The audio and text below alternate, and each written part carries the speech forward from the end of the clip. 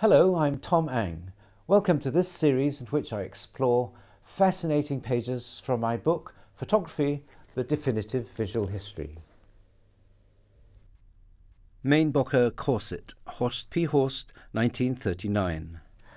The enduring timelessness of Horst P. Horst's most famous photograph, one that he himself recognized as his iconic image, is all the more poignant because it reveals nothing of the turbulent times in which it was made. It depicts a woman in a corset, one made by the Chicago-born designer Main Rousseau Bocher, who had been the editor-in-chief of French Vogue before founding Mainbocher, his own fashion house in 1929. The sculptural elegance of this model's pose, thrown into relief by dramatic lighting, references classical statues.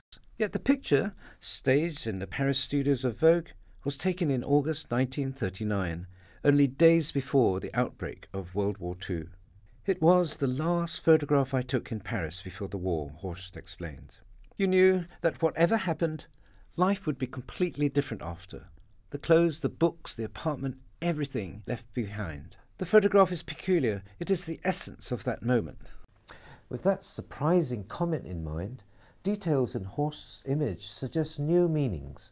The willowy model, the artful disarray of the corset lace and the incongruous shelf all seem to represent the end of an era now revealed to have been all too artificial, all too insubstantial.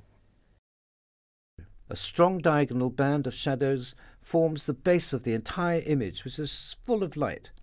The dark shadows helps to define the loops of the corset lace. Horst regularly introduced what he called a little mess into an image, in order to highlight the grace of the rest of the picture and to breathe life into what might otherwise be clinical perfection.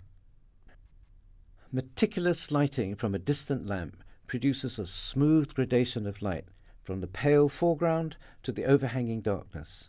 The deep shadow on the model's upper arm makes a strong sensual shape against this background. The shadow that comes from nowhere is characteristic of Horst's work, there is no sign here of what is casting the shadow on the model's right arm. This creates a disconcerting, if subliminal, effect.